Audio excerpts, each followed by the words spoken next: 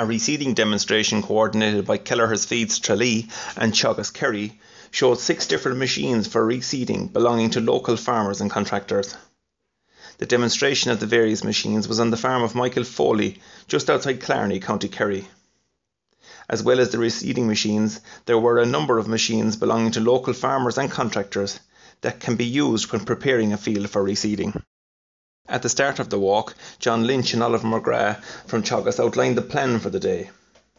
Teagasc specialist Gerard Courtney and Karen Duclos explained that soil fertility is important to get right if reseeding, and the basics you need to get right when doing the job.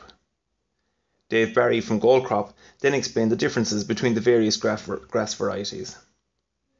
John Lynch and Dave then took the 200 farmers present out into the fields to look at the various machines for reseeding.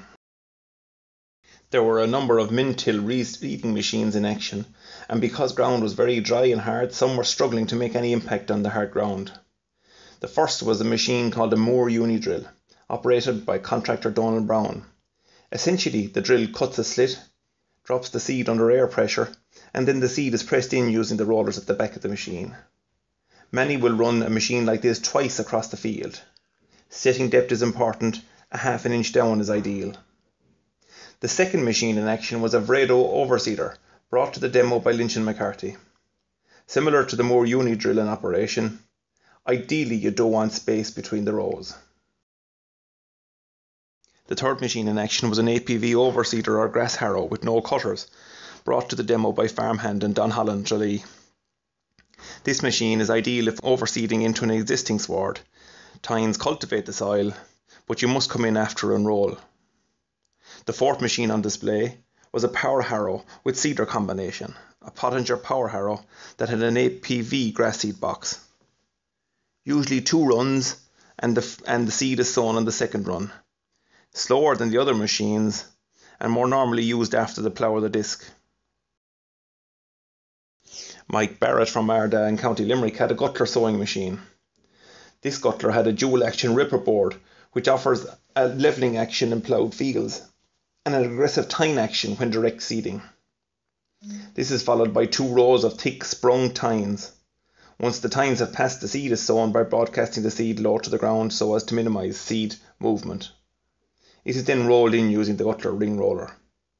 Donald Casey from Firies had a Carré Prairie Combi grass harrow. The Carré can be used for slitting, levelling, scarifying, plus seeding as an option. There are lots of adjustments on each element, so it can be very aggressive if needed, creating a good tilth for successful overseeding. There were four other land preparation machines on display. John O'Connor had a section ploughed, and then John Foley from Killarney was working a Samco land leveller. Dave Barry described land levelling as probably essential if you want to remove air pockets and humps and hollows from ploughed ground. Heavy discs are a very popular cultivation method instead of ploughing to cut up the top 3 to 4 inches of the field. It might take 2 to 3 runs of the discs to get the topsoil into good shape. This is normally followed by a power harrow and seed box combination which sows the seed on the first pass.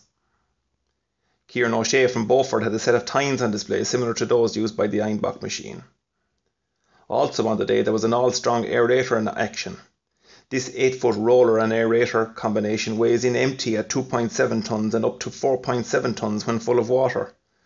You need a tractor over 100 horsepower to pull it, but it can be used on grassland or ploughed ground and the toughened teeth dig into the grassland, leaving a slit 4 to 5 inches deep.